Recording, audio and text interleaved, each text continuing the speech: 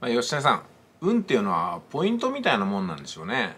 なんかこう1万円分の商品買ったらなんか200ポイントとか300ポイントついてるよみたいなああいうポイントなんでしょうね。だからたくさんいろんなことをやってきたらその一部がなんかねプラスアルファで入るかもしれないよみたいな。でも何もしなければかもしれないすらなくってゼロみたいな感じでしょうね。もっと例えやすく言うとバットでこうホームランを打つ。っていうのがあるじゃないですか。まあホームランじゃなくてもヒットでもバントでもいいんですけどもバッターボックスに立たないことには絶対に当たることはないですよね。いくらこう振ってもボールに当たることはないですよね。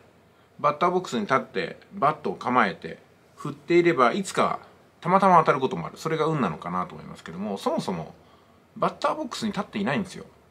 立ったにしてもノウハウを持ってない。つまりバットを持ってないんですよ。であとね見てないんですよね。ボールが飛んでくるのを見てないと。まあ見てたにしても振ってないんですよ。立ってるだけ。こういうふうにね。YouTube のアカウント作りました。立ってるだけ。終わり。どうやって運が舞い込んでくるんですか。だって動画1個も出してないとかね。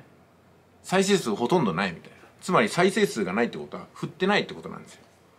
だからまずは何でもいいからがむしゃらに振っていけばだんだん振り方も様になってきてフォームも決まってくるからその上で向こうからボールが飛んでくればね、まあ、100回に1回1000回に1回は当たることがあるでしょってことなんですよね。まあそんなことじゃないですかね。うん、運のやってくる方法はまずそこに立つことだと思いますね。そのフィールドに。